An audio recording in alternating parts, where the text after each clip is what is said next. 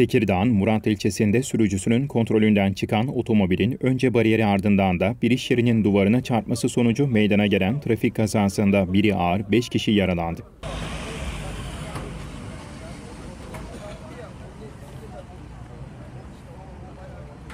Kaza Muratlı Küçük Sanayi Sitesi yakınlarında meydana geldi. İddiaya göre FA idaresindeki otomobil henüz nedeni bilinmeyen şekilde sürücüsünün direksiyon hakimiyetini kaybetmesi sonucu önce bariyere sonra da yoldan çıkarak bir iş yerinin duvarına çarptı.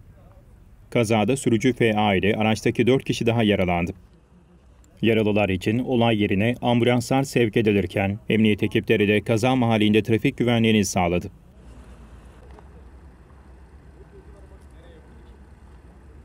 Hurdaya dönen otomobili kurtarıcıyla 7 Emin Otoparkı'na çektirilirken yola saçılan cam kırıkları ise belediye ekiplerince temizlendi.